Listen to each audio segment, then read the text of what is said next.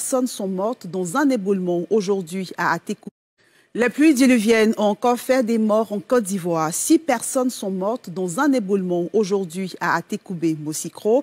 Les maisons censées les mettre à l'abri des intempéries ont cédé face à la force des eaux. Elles se sont écroulées aux environs de 3 heures du matin ce jeudi. Un drame qui a choqué les riverains. Des pleurs, des larmes, des secouristes couverts de boue en pleine fouille dans les décombres.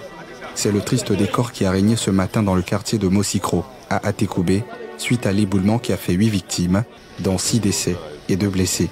Pour les parents des morts, la situation est insoutenable.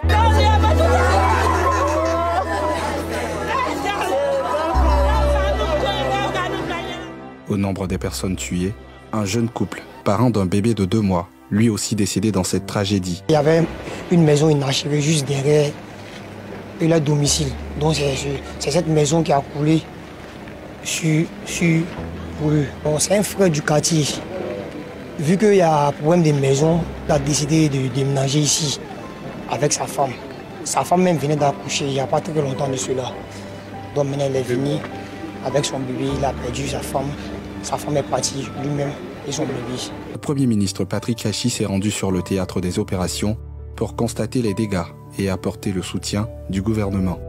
Ce que nous souhaiterions en premier dire, c'est de transmettre pas, aux populations, de la part de son Excellence, Monsieur le Président de la République, toutes nos condoléances pour les familles endeuillées. Il a sensibilisé les populations installées sur les zones à risque quant à la nécessité de quitter ces endroits. Ce à quoi on assiste, c'est que euh, quand euh, les agents de l'administration arrivent, euh, ils sont pris à partie par les populations. Malgré cela, des toits sont enlevés pour qu'ils puissent partir. Des destructions, je dirais, sont entreprises. Mais on se rend compte que ces populations reviennent. Dès que les agents sont partis, elles reviennent. C'est vrai que d'un côté, il y a cette question humanitaire où on a le sentiment euh, qu'il ne faut pas euh, déranger les populations, qu'il faut les laisser là où elles sont. Mais quand on assiste à des drames comme ceux auxquels nous sommes en train d'assister, je pense qu'il faut que les populations comprennent que ces actions entreprises par l'État le sont pour leurs intérêts.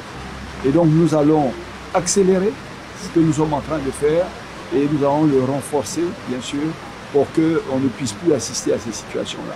Au total, ce sont 54 sites sensibles abritant près de 25 000 personnes qui ont été identifiés à Abobo, Anyama, Atekoubé, Bingerville, Cocody, Port-Boué et Yopougon pour limiter les catastrophes en saison des pluies.